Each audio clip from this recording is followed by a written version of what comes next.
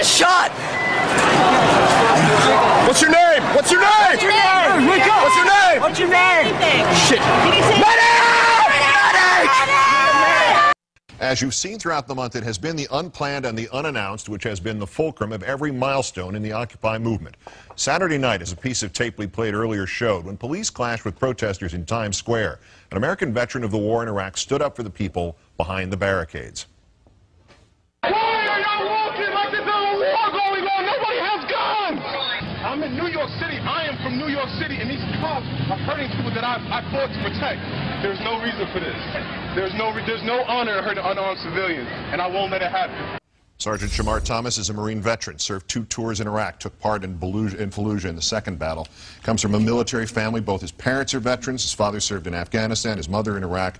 It's an honor to have you here, sir. Thank you. I appreciate it. Why'd you go to Times Square Saturday night, particularly wearing your medals and your uniform? Um, I initially went to the protest on October 5th, and I saw the police uh, brutality, and uh, it made me want to get involved even more. To you know, the, the understanding that you know, we have young men and women out here who are trying to inspire you know change, and so why wouldn't I want to be a part of that? protesters didn't know what to do because obviously you were hitting a chord with these people. What were you trying to say? And obviously we have the quotes, we have the tape, we played it, but what was in your mind as you were, you know, expressing yourself in that vocal manner? Well, I've been to Iraq twice. I've been in, um, I was in a riot in Rupa, Iraq in 2004 where we had uh, rocks thrown at us. And uh, the, after the rocks were thrown, we didn't go beating up people and arresting people. You know what I mean? We, we kind of treated it with a, with a level of humility. You know what I mean? And to have the cops beating, I saw, you know, a cop punching a woman in the face, you know, to see that in my own country, that, you know, my family fought for this country for people to have a right, and these people are, are peaceful.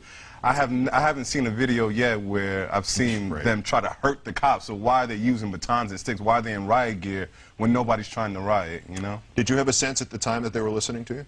Oh, I, I know for sure they were listening Yeah. to me. I, I have no no doubt in my mind that they were listening to me. It, I had the I had the fire in my gut, you know, Yep. so to speak. Like uh, they they knew what I meant. You know, I, I've I've been to you know on on over 50 combat missions, so the intensity is there. They know that I'm telling the truth. You know, they they know in their hearts what you know what I'm saying is right. And it seemed like you were a a, a, a cold bucket of water against their sort of fevered what's going to happen now Exactly. thing because you actually been in the real thing where it was life and death and this was not it and that was what you're trying to get to them It's, it's, it's a time and place for things. You know, it wasn't when the situation arises where the, the you know the crowd starts getting frantic. That's Mm-hmm. when it's time to say, you know what, the crowd is getting frantic.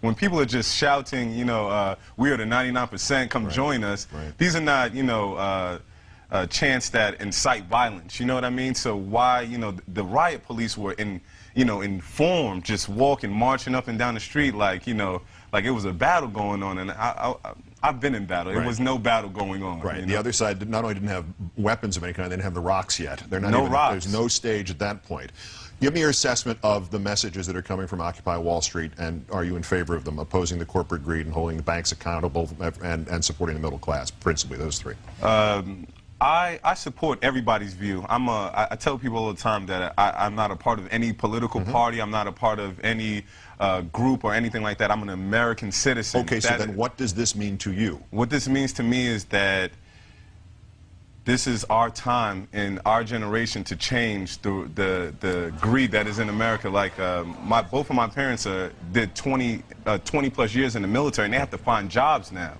And it's like I, I recruited for the Marines for four months, and it's like I, I taught kids to come join the Marines. So it's like come join the Marines, and then what are you going to do after you get out of the Marines? You know what I mean? So it's like we don't. There's there's no you know there's no place for us to go now. You know what I'm saying? So. Is there a place, you think, in Occupy, in the entire movement, in the protest movement that's beginning in this country for veterans' rights and particularly recent veterans' rights to be addressed? Should there be some more attention paid to this fact? Well, that that's the that's the whole thing with the uniform. Sure. That, that's what I, I tell people. Like, you know, I, I want to inspire the veterans to come out because a lot of veterans have this thing where they don't want to speak against the government. They're so you know trained. Like, oh no, if I speak, out, you know, speaking against the government is wrong. You know what I mean? Because we have a chain of command. You know. But uh, Yeah. I don't think it's I don't think it's about a chain of command. It's about a way of life. You know, you understand what I'm saying? So Chain of command goes both ways. Sergeant Shamar Thomas, U.S. Marine Corps, whose mother, father, grandfather, and great-grandfather also served this country through Iraq and Afghanistan and Vietnam and World War II. Great thanks to you for your service, to them for their service, and uh, spectacular work on Saturday night. Thank you. And thanks for coming in here.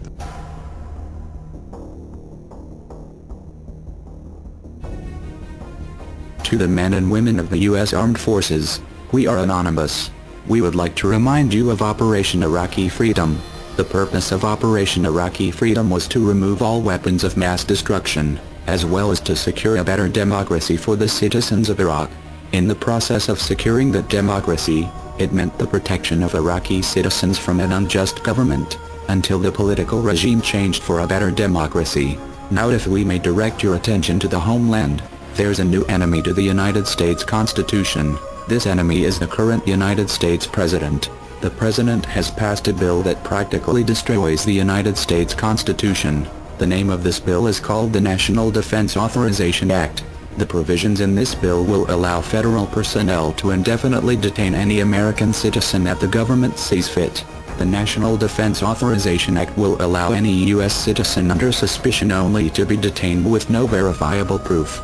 Most critical are sections 1031 and 1032. Section 1031 states that all persons accused do not get a trial, American citizen or not. You as the men and women of the United States Armed Forces took an oath to uphold the United States Constitution, and to defend it at all costs.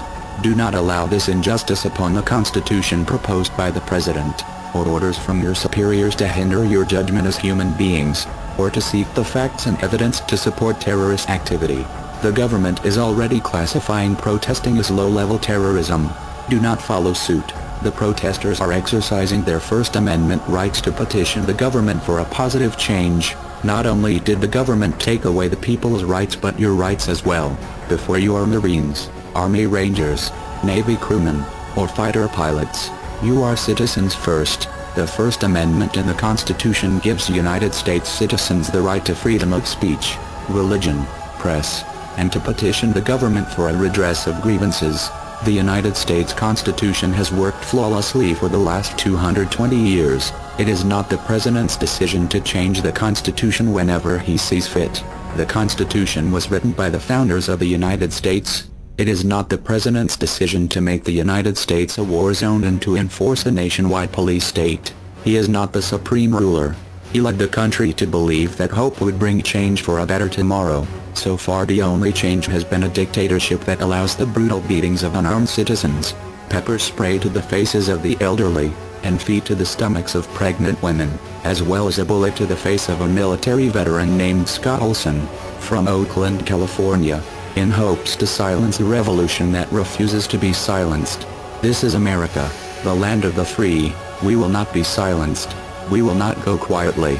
You go to foreign countries to protect the citizens from dictatorship and unjust laws. Now it's time to protect the citizens of your own nation as the United States government is now inflicting fear on its own people. Your allegiance is to the people of the United States, not to the people that control the government. We are anonymous. We are legion. We do not forgive political injustice.